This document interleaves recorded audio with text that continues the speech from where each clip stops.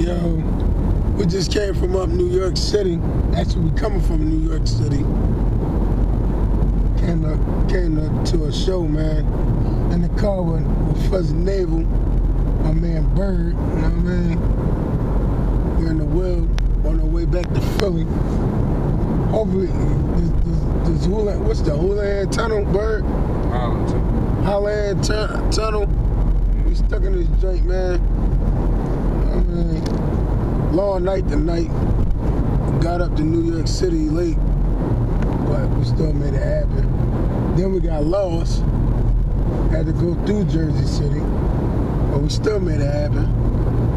But you know? This is a life as a rapper, as an artist, whatever you want to call it.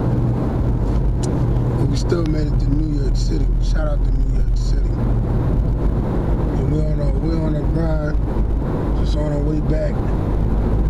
I mean, ruled out. They they ran out of L's to smoke. I mean, so I guess we gotta find a way to, to get through. I don't smoke anyway, but I'm talking about for them. And me, I, my battery died on my phone, so I can't get on Skype or Facebook or Instagram right now. And we ain't listening to the music right now, so we're just on our way back on, on, the, on the road. It's like one in the morning. What time is it? 118? Yeah, 118 in the morning.